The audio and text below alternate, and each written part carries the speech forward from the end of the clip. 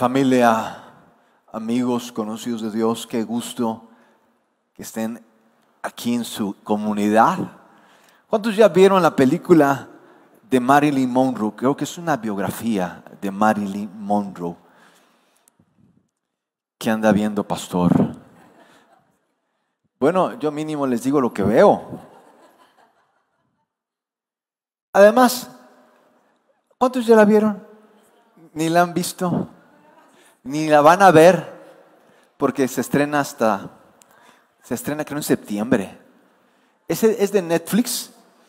Lo que yo vi fue el trailer de esta película que se va a estrenar en unos meses.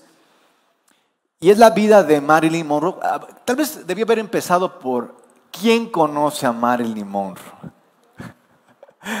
bueno, los demás, ¿qué podía esperar, verdad? Si no saben qué onda con Marilyn Monroe. Bueno, para quienes no saben quién es Marilyn Monroe, es como juntar a Shakira, Paquita del Barrio y a eh, Olga Briskin todas juntas y potencializadas a la, un millón.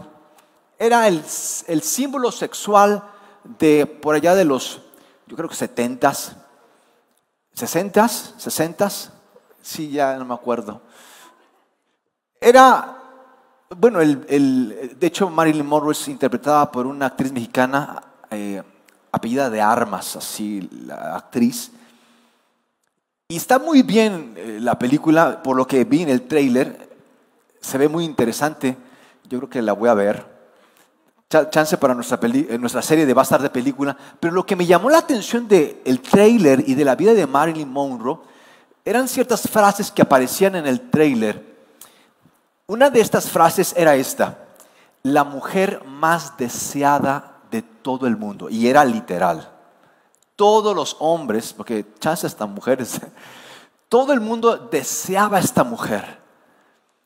Era un ídolo, era un símbolo sexual.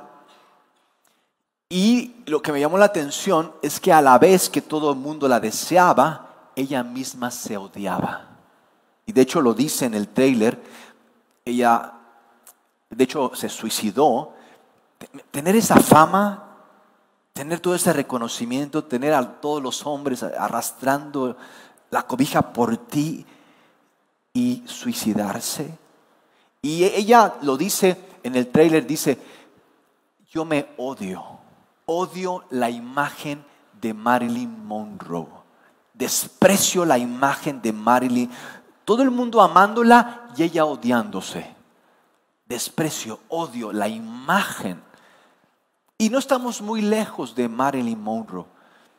Lamentablemente muchos vivimos por una imagen. Y mis amigos, vivir por una imagen cansa, agota, desquicia, termina matándonos. ¿Saben qué? El alma. Lo que acaba, con lo que acaba la imagen es con el alma. Vivimos sin alma, sin conocernos, sin saber el propósito que Dios tiene para nuestras vidas, sin experimentar su amor. Eso de que no experimentemos el amor de Dios no es porque Dios no exista, es porque no vivimos por el alma, vivimos por una imagen. Y para quienes dudan de lo que les estoy compartiendo, permítame leerles. ¿Qué les parece si leemos todos juntos estos dos versículos? Son dos versículos mis amigos, les va a servir de ejercicio que se pongan de pie. Será todo el ejercicio que hagan en la semana. Eh, lean conmigo.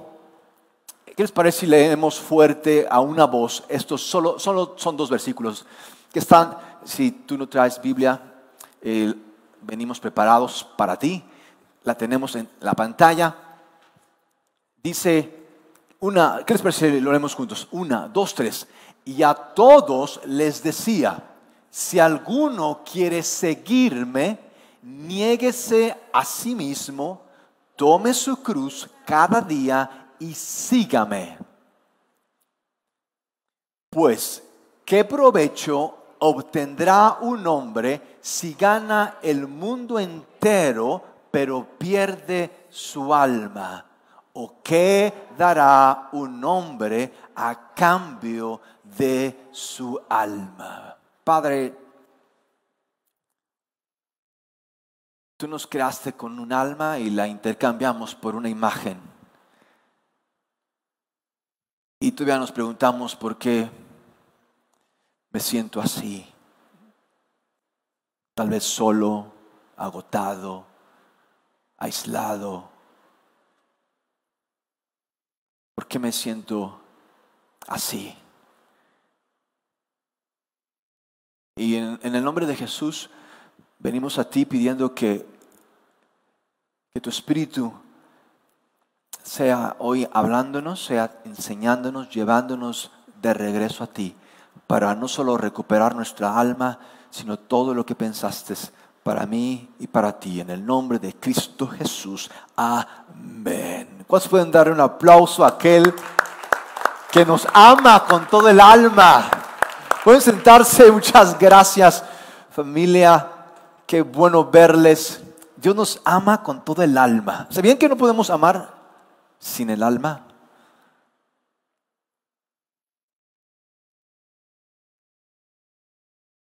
Me llama la atención que Dios no nos negó nada, nos dio lo mejor y lo que más necesitábamos, nos dio a Jesús. Pero yo sigo negándole en lugar de negándome y aparte regándole por todos lados. Y creo que aquí lo que Jesús nos dice de que perdemos nuestra alma por, ganar el mundo, es lo que está detrás del por qué muchas veces vivimos un tanto complicados. Hemos preferido ganar el mundo que ganar nuestra alma. Por ganar el mundo hemos perdido nuestra alma, por seguir al mundo ya no seguimos a Jesús. ¿No les parece que es un mal intercambio? Y el problema de vivir sin alma es que será tan difícil que tú y yo nos conozcamos. No sabremos quiénes somos, de dónde venimos, a dónde vamos. Sin conocernos, es muy probable que tú y yo vivamos por lo que otros digan, quieran, pidan de nosotros y no por lo que Dios quiere, pide y quiere de nosotros. Es fácil que vivamos por nuestras reacciones en lugar de vivir rendidos a Dios. Y platicamos la semana pasada esto de las reacciones que no son a veces tan comunes, que conocemos más a alguien no por sus acciones, sino por sus reacciones. Conocemos más a alguien no por sus acciones. Pensamos que son sus acciones quienes nos dicen quiénes son las personas, pero son sus reacciones las que nos dicen quién realmente son. Y en la iglesia me he encontrado cantidad de reacciones. Yo pensaba que en la iglesia no iban a reaccionar, pero a veces resulta que reaccionan igual que a gente que no cree en Dios, nada más que lo hacen en el nombre de Dios, pero reaccionan igual que los que no creen en Dios. Recuerdo la ocasión en que hace ya algunos años coincidimos una persona y yo en llegar juntos a la misma hora a este sagrado lugar y nos encontramos justo en la entrada, nos encontramos un gato negro, pero no solamente era un gato negro que quería ser parte del culto, era un gato negro muerto. Y me han insultado, me han gritado. Recuerdo la, vez, la primera vez que me insultaron, no pude dormir ese día, pero nunca me habían maldecido, nunca me habían tratado así. Ese día esta persona empezó a gritarme, maldito, maldito. Yo, yo dije, ¿y ahora qué hice? Maldito. Me dice, maldito está este lugar, pastor. Esto que dejaron aquí de este gato muerto es obra de hechicería. Yo le dije, hermana, mejor ayúdeme a limpiar. Vamos a, recoger este gato que ya vamos a empezar. Y, no sé si se fue, dio la media vuelta y se fue. No sé si se fue porque le pedí que me ayudara a limpiar o porque pensaba que sí estaba maldito este lugar y ya no regresó. Yo le digo a mi hermana que estamos mejor que nunca, que ese gato negro no se hizo nada. Y, recuerdo la ocasión en que dejé de usar corbata y hasta me atreví a usar un pantalón con hoyos. Una persona se acercó y me dijo, pastor, Perdón, ya no puedo decirle pastor. No se le puede decir pastor a una persona que ya no usa corbata. Así me dijo. Dije, ¿qué tiene que ver la corbata con que sea pastor? ¿Dónde, ¿Dónde las venden para yo entonces comprarme una especial? Pero lo que, lo que más me ha llamado la atención en estos años de ser insultado, ya, les conté de la vocación que una persona pasó y me empezó a decir de cosas, ese ya no se las voy a decir. Pero las veces en que he visto las reacciones de las personas con esto de Dios, recuerdo una ocasión en que me robaron mi celular justo mientras predicaba. Tú puedes, decir, no es posible, pastor, uno viene a la iglesia con gente buena y, le roban, y no solamente a usted se lo roban, ¿cómo es posible, pastor? Eh, era un Samsung nuevo, en aquel tiempo cuando los Samsung empezaban eh, a jalar mercado, y ciertas personas, no, pastor, ¿cómo es posible? Ahorita vamos a ver que no salga nadie de aquí, vamos a revisarlos. Y yo en ese tiempo ya había estado tratando con mis reacciones y le dije, Señor, ¿acaso tienes que hacer esto para que yo me dé cuenta de la profundidad de, de, las reacciones y de, mi mal? ¿Acaso necesitas hacer esto para que yo empiece a tratar con todo esto que sale, con este huracán que se está revolviendo dentro de mí al saber que un incrédulo o chance un hermano se llevó mi celular? Era nuevo, Señor. Era Samsung. Lo usaba para predicar tu palabra, Señor. Yo estaba ahí quejándome con Dios, ¿cómo es posible? Soy tu siervo y en la misma iglesia me roban el celular. Pero ¿será acaso que me quieres enseñar algo, Señor? Al poco tiempo, al poco tiempo, me regresaron el celular. Y dije, Señor, no entiendo. Bueno, al final de cuentas es tu celular, tú me lo diste. Señor,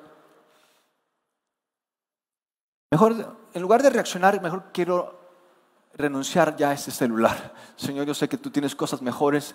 Y al poco tiempo me regresaron el celular. Las personas que me regresaron el celular me dijeron, se lo traemos, pastor, porque el ladrón no ha podido dormir desde que se lo robó. Yo dije, ¿acaso Dios le llama por las madrugadas ahora que tiene mi celular? Ha de ser eso. Es que era mi celular, ahora le está marcando y es en la madrugada. No sabe esa persona. Y recuperé mi celular. Yo ni siquiera fui a presentar una denuncia, no les dije hagamos algo con esa persona que se lo llevó, ya no hagamos filtro en la entrada, Señor. Y regresó. Pero tal vez todavía, y yo sé que mientras esté en esta carne, en algún momento, tal vez haya cosas que todavía no experimente, tal vez haya cosas que todavía no pruebe, tal, vez haya circunstancias que todavía no conozca que me hagan aún reaccionar. Pero algo que sé es que sé que en lugar de reaccionar puedo renunciar, puedo rendirme a aquel que todo lo sabe, todo lo entiende y que aún puede hacer de mi pérdida ganancia. Quiero compartirles brevemente un pasaje en donde Jesús nos habla acerca de las veces que nos mienten, nos roban, nos explotan, nos abusan y cómo debiera de ser nuestra reacción y qué dice nuestra reacción de quién realmente creemos. ¿Cuántos están listos para un poco de palabra? ¿Cuántos están listos para un poco del Evangelio de Dios? Veamos, eh, yo te animo a que traigas tu Biblia, va a ayudarte a conocerla un poco más. Y, y si no la traes, aquí está en, la pantalla, pero la pantalla es para los invitados. Si tú traes a un invitado, no, esperamos que traiga Biblia, por eso ponemos los versículos en la pantalla. inviten a alguien, no vas a tener que traer tu Biblia, puedes decir, aquí vamos a darte todo lo que necesitas. Todo lo tenemos preparado para ustedes. Dice Jesús, es Jesús quien nos da esta porción del Evangelio. Jesús está hablando y Jesús nos dice, otra de las enseñanzas de Moisés el autor de la ley, quien nos diera los diez mandamientos, fue esta. Si alguien te saca, le saca un ojo a otro, también a él se le sacará un ojo. Si le rompe un diente, también a él se le romperá un diente. Ojo por ojo. Así debe de ser, pastor. Nada que abrazos y no balazos, puras tonterías de ese presidente. Ojo por ojo, diente por diente, que se sometan los rebeldes. Vamos a acabar tuertos todos. Tuertos, chimuelos. ¿A dónde vamos a llegar si nos tratamos así? No muy lejos. Otra de las enseñanzas de Moisés.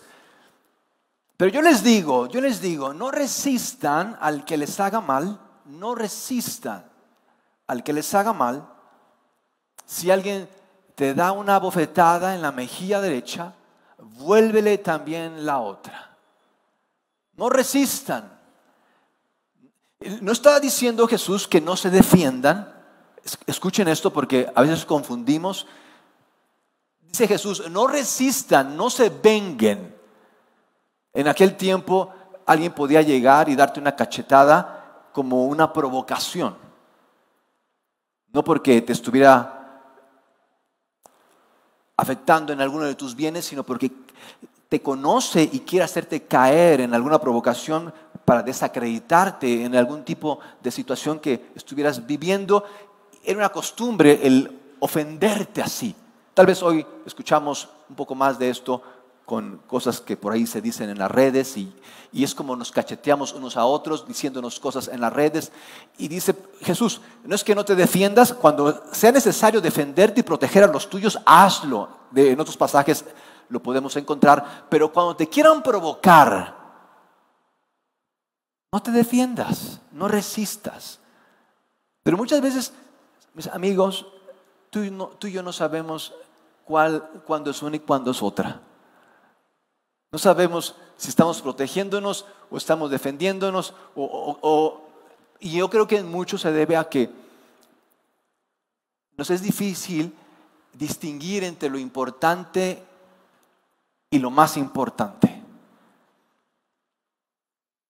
No resistan, no se venguen, no, no se dejen llevar, pues.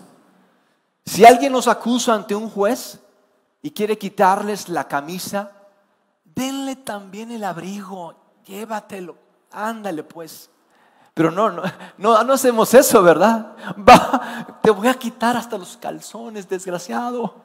¿Cómo que te quieres llevar mi camisa? Y ahí andamos peleándonos como verduleros. Iba a decir verduleras, ¿verdad? Pero yo respeto a las mujeres.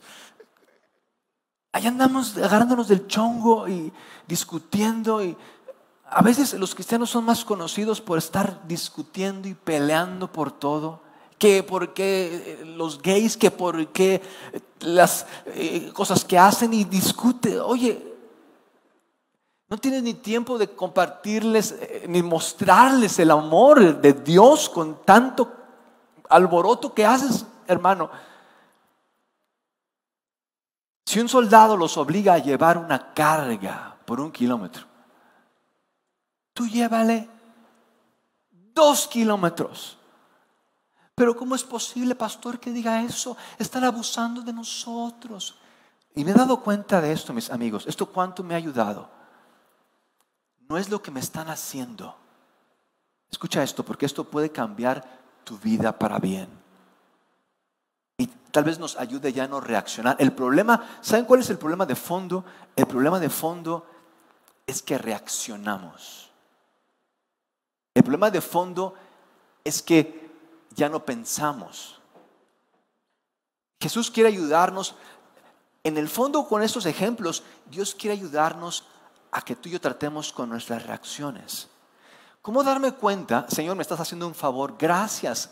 Ahora me doy cuenta de las reacciones que tengo que, trabajar, me doy cuenta de esto hondo que traigo, está tan arraigado, no es lo que me quieran quitar, es esto que está tan arraigado en mí. Mis amigos, no es lo que nos quieran, escuchen esto, no es lo que te quieran quitar, es lo que tú no quieres entregar. Mis amigos, cuando tú y yo vivimos en nuestras emociones, en nuestras reacciones a la defensiva y, prendiéndonos en cualquier hervor, es probable que no sea lo que te hayan quitado, tal vez sea lo que esté arraigado en ti que tú no quieras tratar.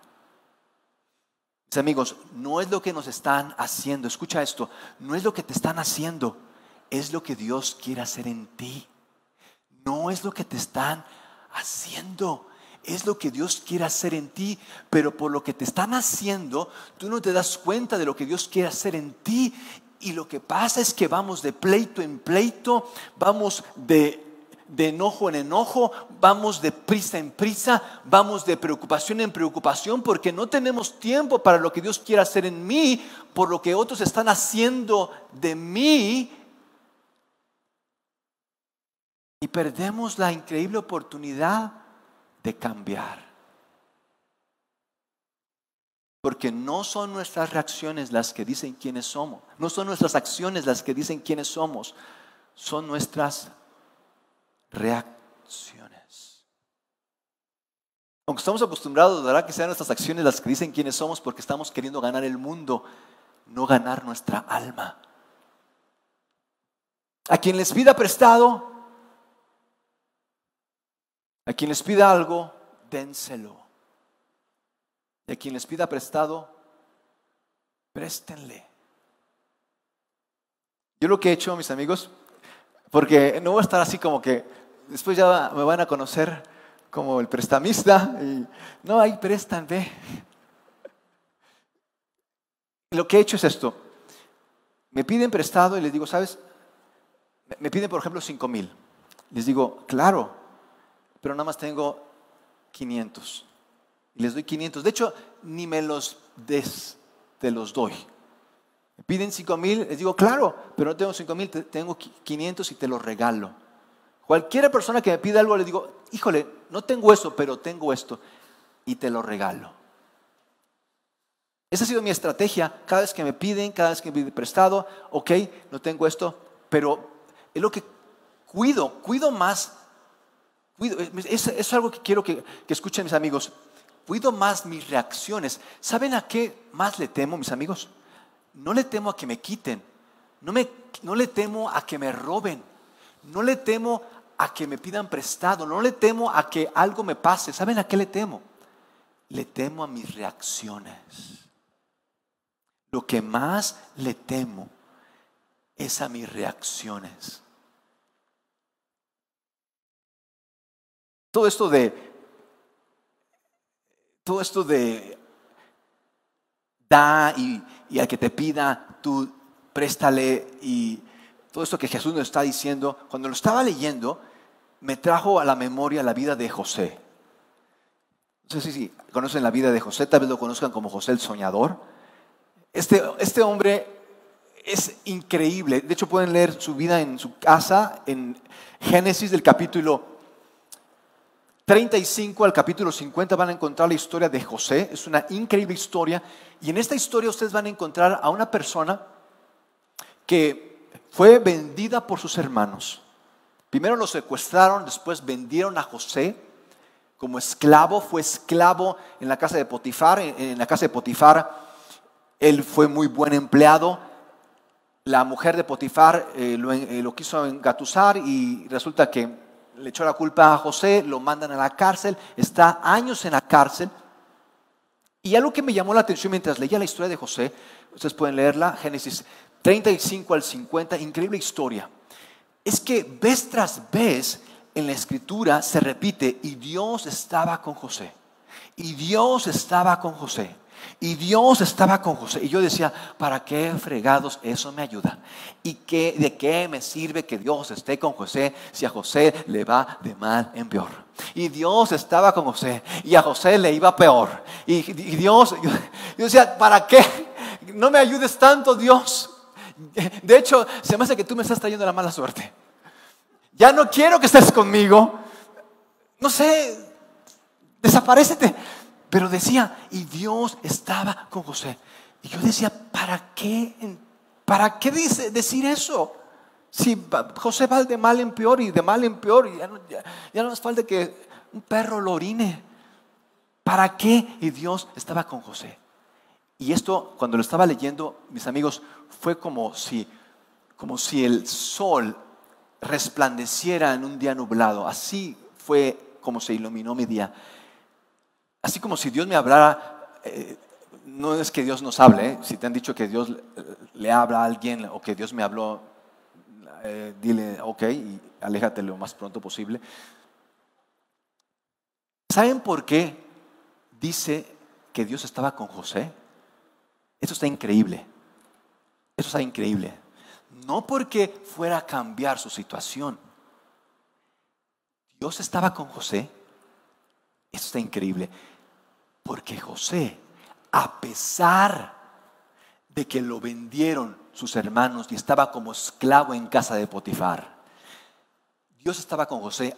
Aun y cuando en casa de Potifar lo infamaron y fue a dar a la cárcel y estuvo en el fondo de la cárcel, aún en esas situaciones José no reaccionó, José se rindió. Dios, ¿sabes cómo puedes saber que Dios está contigo? Cuando ya tus reacciones no te dominan. Cuando la rendición es lo que te... amigos, ¿sabes por qué es tan importante no reaccionar? Porque cuando tú reaccionas a lo que otros te hacen, eso dice que otros tienen control sobre ti. Las reacciones dicen cuánto alguien te está controlando. Y cuando tú ya no reaccionas a lo que alguien te pueda hacer, a lo que la vida te pueda tener, a lo que las situaciones te puedan traer, cuando tú ya no reaccionas, ya no reaccionas, te rindes. ¿Y cómo fue que se rindió José? Porque cuenta que José adoraba a Dios en todo lo que hacía, todo lo que hacía. Ok, me van a poner de esclavo, voy a ser el mejor esclavo de todo Egipto. Y que lo nombran administrador de la cárcel. No podían hacerle nada a José porque José lo devolvía al cien por uno. Le quitaban, él daba más. Lo ponían a barrer, él, se ponía a, a limpiar, él se ponía no podían hacer nada con José porque este José todo lo devolvía mejor, todo lo hacía mejor. No podían tratarlo tan mal como para que se desanimara, como para que ya renunciara, porque José lo hacía mejor, se entregaba más, servía mejor, amaba más, adoraba mejor. Dios estaba con José, porque José no reaccionaba se rendía. Han oído, dice Jesús, han oído que la ley dice, ama a tu prójimo y odia a tu enemigo. Eso es lo que han oído, es lo que les enseñaron. Ama a tu prójimo, ámate a ti mismo, ámate más, odia a tu enemigo. Pero yo les digo, ama a tus enemigos, ama a tus enemigos. Ora por los que te persiguen. Ay, pastor, yo no oro ni por mí. Ahora voy a estar orando ni por mis amigos. Ahora voy a estar orando por mis enemigos. Ay. Recuerdo la vez que me defraudaron, por tres días no pude dormir, mis amigos. Tres días no pude dormir. Y no podía pensar más que en hacer algo con esas personas. Y fue cuando este versículo cobró tanto sentido. ¿Saben por qué Dios nos pide orar por nuestros enemigos? Porque es la manera, escucha esto, ¿saben por qué Dios nos pide orar? Porque es la manera en que tú ya no piensas tanto en ellos. Con esto ya, tú ya valió que hayas venido. ¿Sabes por qué Dios nos pide orar por aquellos que nos caen mal, que no soportamos? Porque es como tú ya no piensas tanto en ellos y piensas más en Cristo y lo que Él ha hecho por y para ti, que aun y cuando tú fuiste un pecador aun y cuando somos pecadores, aun y cuando nos rebelamos en contra de Dios, aun y cuando ofendimos a Dios en palabra, en hecho, en obra, en cuantas cosas pudimos imaginar, aun y cuando no cumplimos nuestras promesas, aun y cuando somos pecadores, Dios murió por nosotros. Dios no reaccionó, ay, no es posible contigo, ¿hasta cuándo vas a cambiar? Dios no reaccionó con nosotros, eh, con nuestro pecado, mandándonos al infierno. Él murió por nosotros, Él tomó nuestro pecado, Él pagó nuestro pecado yendo a la cruz. Así fue como reaccionó Dios con nosotros, porque yo no habría de reaccionar mejor con otros. ¿Es cuánto me ha ayudado? Orar por ellos. Ya, ya, ya se me va la fijación y no estoy pensando tanto en ellos, ahora pienso más en Dios. Y saben, mis amigos, ¿qué prefieren? ¿Qué prefieren? Que sea Dios, que sea ese fulano, hijo de tal cual, que les pague o que sea Dios quien les pague. ¿Qué prefieren? ¿Qué prefieren? Que sea ese hijo de su mamacita linda que me pague o que sea Dios quien me pague? ¿Qué, prefiere? ¿Saben? Les creería si no estuvieran enojados, si no estuvieran tristes, apachurrados, yendo por la vida a ver a quién le cobro. Así vamos por la vida, mis amigos, viendo quién me paga. Es por eso que la gente reacciona. Si alguien se le atraviesa, ya lo quiere matar. Alguien le puso mala cara, ya quiere denunciarlo, ya quiere demandarlo. Alguien le hizo esto, ya, ya me quiero, ya ando en modo venganza. ¿Por qué no he sido a la iglesia? Es que, híjole, me debe tanta gente. No tengo tiempo para Dios mientras eh, no cobre mis cuentas, pastor. ¿Sabía que por eso estamos cansados? Y agotados porque a todos le queremos cobrar, a todos queremos ponerlos en su lugar, a todos les queremos decir que está bien, a todos les tenemos que decir lo, mal que andan. Híjole, eso es desgastante. No, esto de juzgar es un deporte nacional.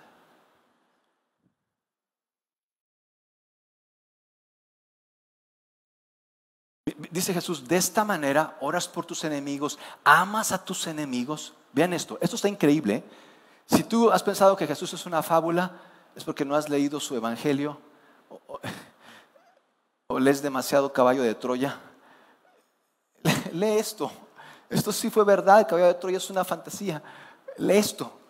Dice Jesús, de esta manera, vean esto, porque yo pensaba que los cristianos se conocían porque cantaban bonito, los cristianos se conocían porque predicaban con fuego, los cristianos se conocían porque iban a conciertos, los cristianos se conocían porque oraban mucho. Yo pensaba eso, pero vean lo que dice Jesús. Los cristianos se conocen, vean esto, los cristianos se conocen por cómo reaccionan. No porque tanto saben, no porque fueron a un instituto bíblico, no porque usan corbata, de esta manera estarán actuando como verdaderos hijos de su Padre Celestial. Oh.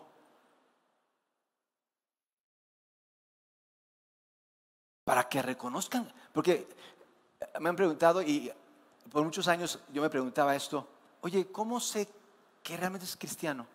Sobre todo parejitas que quieren como que concretar esa relación, pero como que no están seguras de si esa persona es la que Dios tiene para mí. O están queriendo hacer un negocio y el otro cuate parece que como que a veces no se compromete y haré negocios con ese cristiano, pastor. ¿Será realmente cristiano? Veo que va a la iglesia. Y yo en mi ignorancia les decía, no, pues un cristiano es aquel que pues va a la iglesia, ahí de vez en cuando. No, un cristiano es aquel que se sabe de memoria Juan 3:16. ¿Cuántas cosas decía de que era un cristiano? Y me encuentro con esto. Un cristiano es aquel que responde al mal con bien, aquel que no reacciona, aquel que se rinde. Uy, lo pastor me hubiera dicho eso antes. Ya estoy bien comprometido. Mis amigos, aun y cuando estés bien comprometido, si tú te rindes, oye, si tú te rindes, Dios puede hacer mucho más en ti que lo que tú quieres hacer para Él o lo que tú quieres que Él haga por ti. Dice, así se conocen los verdaderos cristianos, cuando actúan no reaccionando, sino rindiendo. Pues Él da luz de su sol tanto a malos como buenos y envía la lluvia sobre los justos y sobre los injustos por igual. Considera por un minuto, considera, ¿cómo crees que Dios reacciona contigo? Considera cómo eres, considera, cada quien sabe cómo es, ¿verdad? No tenemos que especificar aquí. Considera cómo eres, las cosas que has dicho y no has hecho, las cosas que has hecho. Considera cómo ha sido Dios contigo, cómo ha reaccionado Dios contigo siendo como somos, siendo como somos, cómo ha reaccionado Dios contigo.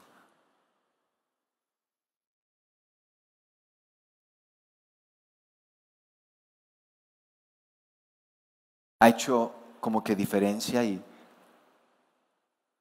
cuando está lloviendo, llueve en todos lados menos en tu casa. Todos los jardines se riegan menos el tuyo. La traes conmigo, Dios, ¿verdad? Mi, milpita hace tiempo que no la riegas. ¿Cómo ha sido Dios contigo? Dice Jesús, para concluir este pasaje, si ustedes aman solo a quienes los aman, si ustedes son buenos con quienes son buenos con ustedes. Ay, qué ternurita. Mira nomás qué bien cuida a sus hijos y qué bien es con sus cuates. Y mira, tiene unos amigos bien íntimos. Qué increíble es. Si ustedes aman solo a quienes los aman, Dios no los va a bendecir por eso. Hasta los corruptos, cobradores de impuesto, hacen lo mismo.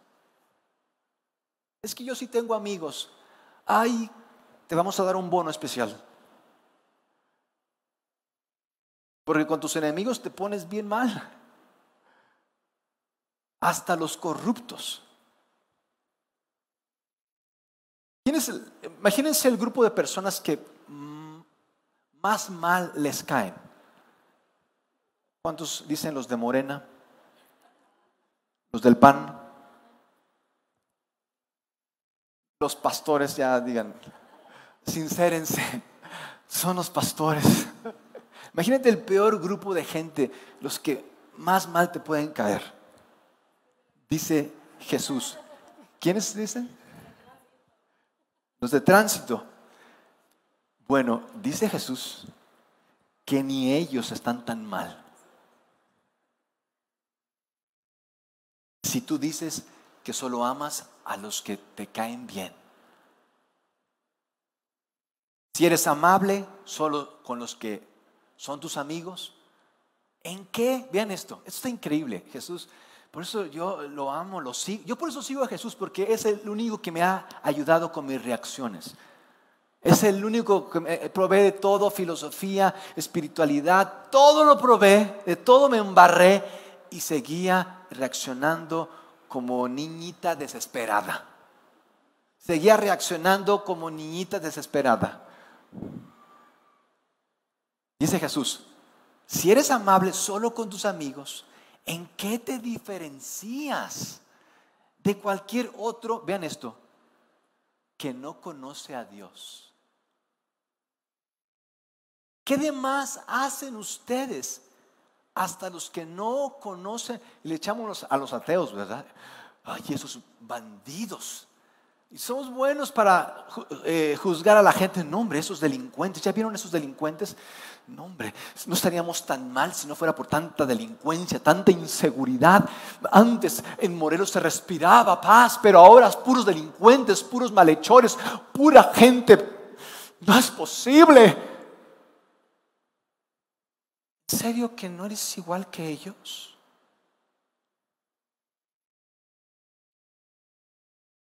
¿En qué te diferencias de ellos? ¿En qué te diferencias de ellos?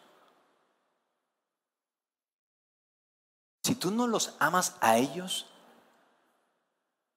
¿en qué te diferencias de ellos que no aman? Sigue, sigue siendo igual que ellos, nada más que ellos aman otras cosas, tú amas otras cosas y ninguno realmente ama. Aman lo que les conviene, aman su seguridad, aman su comodidad, aman lo que no les puedan quitar. ¿Qué diferencia? Mis amigos, y es por eso que los no cristianos no creen en Cristo, por los cristianos. Los no cristianos no creen en Cristo, no porque Cristo no sea verdad, por los cristianos que tienen los mismos arranques, que tienen las mismas reacciones que ellos. Dicen, ni tú mismo, ni siquiera tú crees lo que dices creer. ¿Para qué quieres que yo crea algo que tú ni crees que yo veo en tus reacciones? ¿Crees que diciéndome que me voy a ir al infierno voy a cambiar? ¿Crees que diciéndome que me arrepienta cuando tú no te has arrepentido voy a cambiar? Tú tomas en serio lo que dices creer, ¿por qué me pides a mí creer? Si tú ni crees. Ve cómo te descompones cuando eso te pasa. Mira cómo te pones mal cuando ya alguien te hizo esto. Y tú dices creer en Dios. No quieras jugar conmigo a tu religión. Yo creo en el diablo. Pero por lo menos no tengo nada que ver con Dios.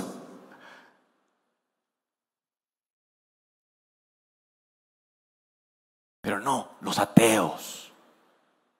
No, los malos, los herejes, los delincuentes, esos partidos. Hay que acabar con ellos.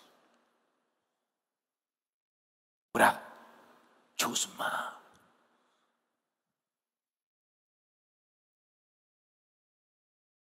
¿Qué diferencia hay entre ellos y tú? ¿Qué de más hacen ustedes? ¿Ya leíste la Biblia? ¿Ya fuiste a la iglesia? Pero tus reacciones son como las de cualquier otro. No estás haciendo nada de más.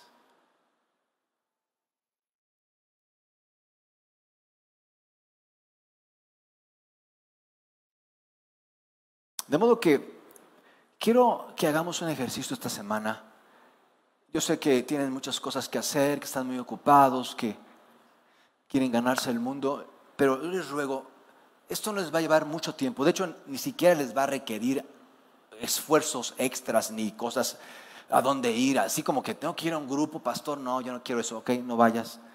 Eh, tengo que llegar temprano para servir, ok, no vengas. Esto ni trabajo te va a costar. Vean lo que vamos a hacer esta semana. Quiero que en esta semana, cuando alguien te diga algo, ¿qué es lo que usualmente nos hace reaccionar? Por ejemplo, a mí me hacía reaccionar, me prendía, me desquiciaba la gente que llegaba tarde. Pero oigan, no, era así como que cinco minutos, dos horas después. Yo decía, no es posible. No, hombre, es que no sé qué pasó. y me daba tanto coraje que tres días andaba ahí arrastrando el coraje. Yo decía, ¿por qué me siento tan mal, Señor? Tengo ganas de ahorcar a alguien, no sé. Ah, ya me acordé por ese bruto que dos horas después, ¿cómo es posible? Eh, me prendía, me desquiciaba la gente que llegaba tarde. Pero ¿saben qué? Todo mi enojo no ayudaba a que la gente llegara temprano. Por más no llegaban temprano. Yo dije, Señor, me rindo, me rindo, ya no me voy a enojar, ya no voy a prenderme, ya no me voy a desquiciar. El tiempo que ellos quieran, aquí yo voy a estar esperando. En serio. Pero ¿saben qué? ¿Saben qué? Algo increíble. Esto me ayudó tanto. Pero ¿sabes qué, Señor? Gracias por esto. Porque si no hubiera sido por esto, no me hubiera dado cuenta. No me hubiera dado cuenta de qué maneras puedo yo aprovechar el tiempo. Y se me ha ido el tiempo en tantas tonterías. Ya nunca más voy a desperdiciar el tiempo. El tiempo que tenga lo voy a aprovechar. El tiempo por más lo que tenga que esperar. Y ahora, cuando tengo que esperar, mis amigos, nadie me hace perder el tiempo. Mi, teléfono es como mi computadora. Saco los libros que tengo que leer, saco los mensajes que tengo que preparar, saco los... Mis amigos, se tardan dos horas y yo estoy tan metido que ni cuenta. ¿A poco te tardaste tanto? Eh, ok, está bien, qué bueno que ya llegaste, vamos a... Ni, ni en cuenta, me, ya ni cuenta me doy de todo lo impuntuales que son. Porque yo estoy concentrado y viendo y aquello ya no me hacen perder el tiempo. Y cualquier cosa que el, camión, que cualquier cosa que, la eh, cuota, que la, ah, ahí donde pagas tu cuota, en las casetas, que hubo una manifestación, ya no me importa lo que pase, yo ese momento lo hago sagrado y me pongo a hacer mis cosas. Nadie me quita el tiempo, nadie me va a hacer reaccionar, nadie tiene control de mí. Yo puedo decirle a cada reacción que venga y me quiera hacer distraer, me quiera desanimar, me quiera perder, me quiera hacer lo que quiera hacerme. Tú no vas a definir cómo voy a hacer, tú no vas a definir cómo voy a reaccionar.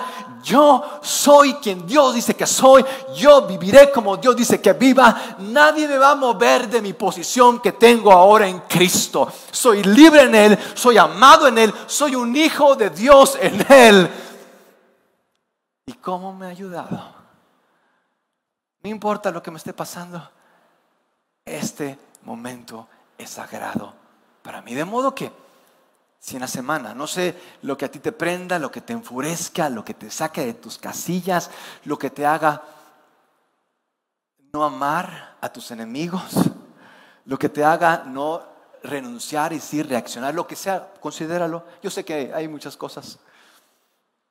Son tantas que tú sabes ni por cuál.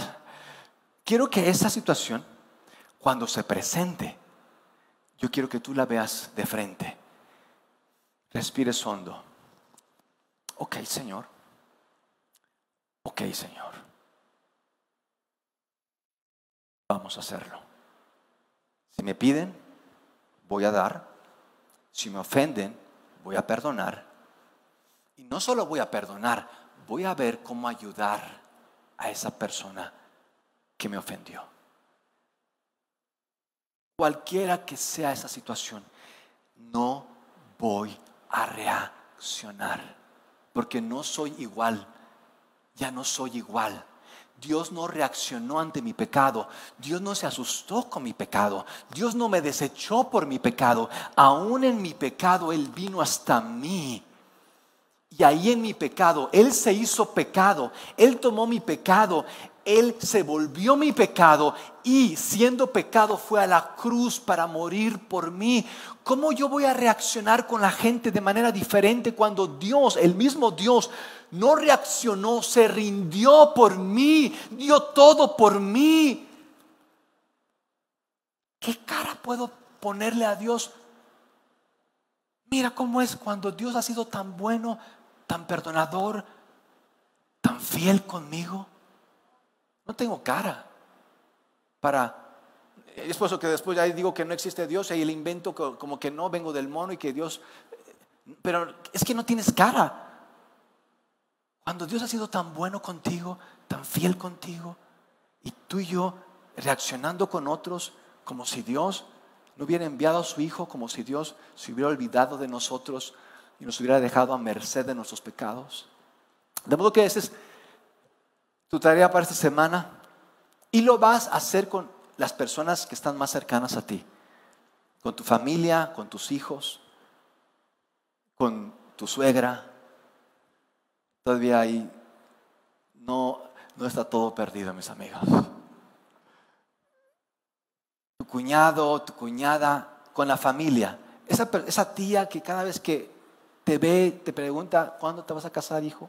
Ya tienes 45 y tú dices, no puede ser, tía, ya me echaste a perder el día y ya estás toda la semana que no te aguantas.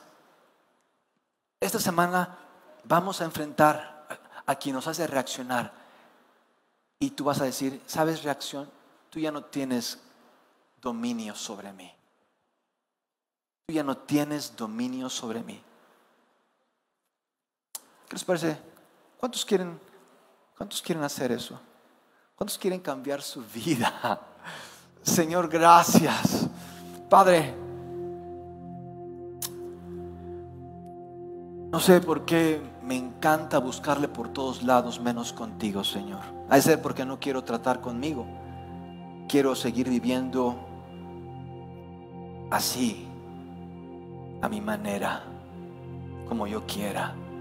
Pero finalmente eso no me está funcionando porque cada vez que pasa eso me descompongo, cada vez que me sucede aquello ya me olvido de ti, cada vez que por allá me dicen esto, ya no creo.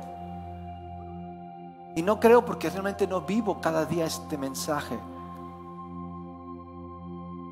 De modo que para los que hoy están, Señor, viniendo a ti, para quienes hoy están saliendo, de cualquier reacción que los ha esclavizado por años. Para quienes están renunciando hoy a todo eso que han hecho suyo y que nadie nos puede tocar, pero que finalmente se han dado cuenta que, que es tan débil y tan vulnerable. Para todos aquellos que hemos salido de nosotros mismos para correr a ti, yo te pido, Señor, que tú nos a cada uno de ellos, encuéntralos con tu misericordia, encuéntralos con tu amor. En el nombre de Jesús, sé tú, Señor, derribando, sé tú, Señor, trayendo a cada uno de ellos, Señor, la infinita misericordia, la gloriosa gracia de Dios en Cristo Jesús. En el nombre de Jesús, Espíritu de Dios, llena, sacia, sé tu Dios en cada uno de nosotros. En el nombre de Cristo Jesús. Amén. Pues pueden dar un aplauso a aquel ¡uh! que no reaccionó con nosotros.